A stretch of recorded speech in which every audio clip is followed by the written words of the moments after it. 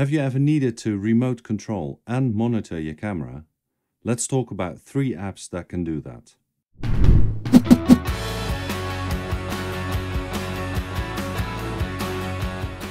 I'm Sebastian and welcome to my channel where I talk about tech because I like it.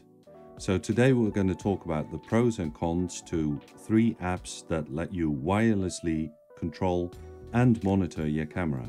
The first two are Lumix apps, but the last one also works with other camera brands. I will be using my Lumix G9. All of these apps can start and stop recording and they all connect over Wi-Fi. The Lumix apps also connect through Bluetooth but that's just for remote shutter control and it doesn't give you the monitoring option. But the focus of this video is remote control and monitoring over Wi-Fi. So first up is the Lumix Sync app. The Lumix Sync app is available for iOS and Android. It lets you control quite a bit. For example, you can use touch to focus in the app just like you can on the LCD screen of the Lumix G9. When the camera is set to manual focus, you can actually manually focus from within the app, but it is a little bit jumpy, so a very smooth focus pull isn't really possible. But it does allow you to autofocus when in manual focus by hitting the AF icon. You can set white balance, ISO, shutter speed and aperture. And when you go into the quick menu, it gives you even more settings to control, like recording format, recording quality, color profile or picture profile, filter settings, metering function, and some more. You can even save your G9's settings to your phone, just like you can to the SD card in the camera. If you want to know more about this, let me know in the comments and maybe I'll make a video about it in the future. There definitely is some lag between the image on the LCD screen on the camera and the app. But I think it's pretty good considering the fact that it's wireless and that the image quality is pretty decent. It's not like the image on the LCD display, but it's good enough. What I think is not so nice about this app is that it doesn't allow for full screen monitoring and that it doesn't have the option for, for example, waveform.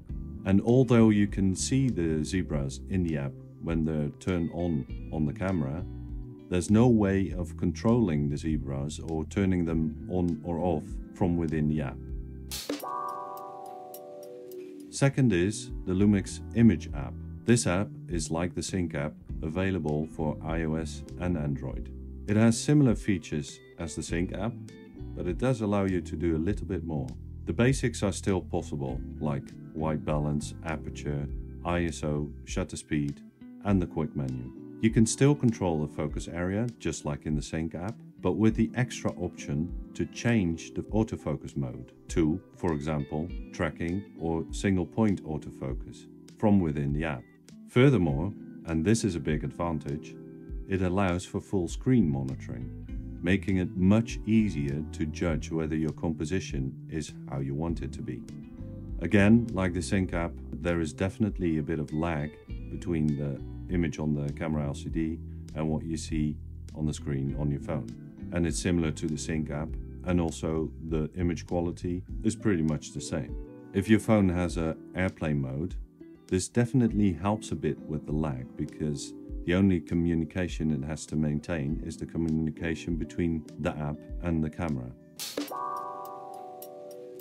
The last one is a paid third-party app that works with compatible cameras from Panasonic, Sony and Canon. It's called Field Monitor. It is, however, an iOS-only app, so not available for Android. This app is packed with features, although it can't do anything your camera can't do. But it can do things the other apps can't do. First off, it has full screen monitoring. With transparent overlays for waveform, vector scope, histogram, all adjustable in size, transparency and refresh rate. The basics are also controllable. Aperture, shutter speed, ISO, white balance, even whilst recording. It features on-screen markers, frame line and mask with adjustable safe areas, aspect ratios, several grids, center markers and customizable crosshair. There is focus assist with variable sensitivity and four peaking modes. You can import viewing LUTs into the app. So when you shoot in log, Vlog-L in my case, you can monitor a proper image and I use a Vlog-L to Rec 709 LUT. And there are some built-in LUTs.